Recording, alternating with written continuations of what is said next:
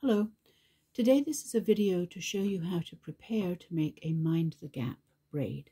We're going to make a ditz, which is the cardboard thing that you hold when you pull the yarn through in order to make that beautiful braid. You'll see that in a different video.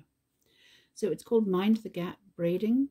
I don't, well, because you mind the gap, but it's a variation on the Japanese technique of kumihimo. And I hope I pronounced that right. You'll need um, a piece of cardboard. This is just a flap from an Amazon box. Works totally fine. You can also buy things on um, anywhere, craft stores, made out of uh, something like craft foam. But this works just fine. And it's replaceable easily. So I have this um, round thing here. Could be a lid or anything like that. This is about three and a half inches in diameter. I'm going to draw around it. And anything we do is not does not have to be completely exact. And I'm going to cut around that now. I have these big long scissors. They're called wallpaper scissors in England. And they have a nice, um, nice long blade and a good leverage. So I'm just going to cut around the circle. I used to make octagons, but it turns out circles, of course, are much easier to do evenly. And it, again, it doesn't have to be even. It just has to be reasonable, reasonably pleasing to look at, I think, and not too messy. Get rid of these spare pieces here. Now, all we have to do is cut eight slots, eight slots. And I'm just going to go uh, kind of north and south. So here's one at the north, here's one from the south. I'm going to do the other sides and then I'm going to cut in between these to make eight roughly evenly spaced slots.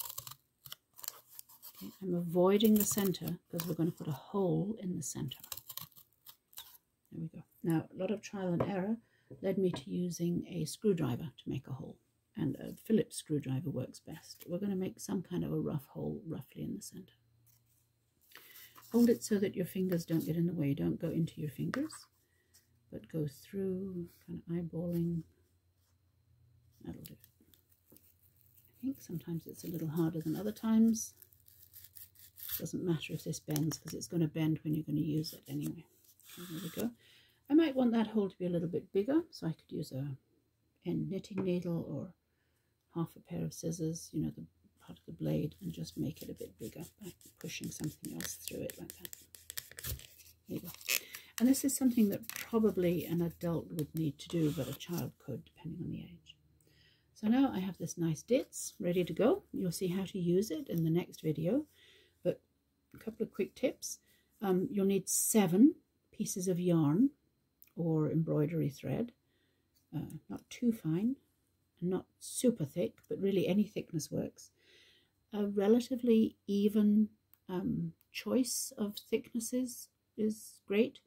A lot of children like to do seven colours of the rainbow. It's also really nice if you do six of one colour, say a dark blue, and uh, one of a light yellow or white. It looks kind of like stars in a dark night. Um, it also can look really beautiful if you use um, this pearl cotton. And this is much finer, of course, than the thicker yarn you might want to start with. But I've just chosen seven pieces and I'm going to tie them in a simple knot right here. Just a simple overhand knot, like that. I'm going to push this knot from the top, doesn't matter which side really, but this looks more beautiful than that. I'm going to push this down from the top, and I'm going to put one of these threads in each of these slots. And again, for more, and you'll see me using thicker yarn on the other video, but for more, just watch the other video on my tube, on my YouTube channel, Elizabeth Seward Author. So again, my YouTube channel is Elizabeth Seward Author. It turns out there are quite a few Elizabeth Sewards in the world. And you'll see some other videos there too about knitting and casting on, casting off, making a simple bunny. I'm going to add some more things I think too in terms of simple projects to do. So this is a little squirrely, right? A little wiggly. It's not super even, but you can just adjust that by um, with your fingers.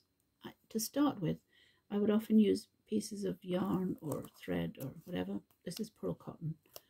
Um, they're about 12 to 14 inches long. It gives you a short braid, but um, 24 inches is about the maximum you would want to use, two feet, because it, otherwise it can get tangly towards the end when you're braiding. All right, well, I'm going to wish you well, and I hope you enjoy this, and I hope you follow my other videos at Elizabeth Seward, author. Bye-bye for now.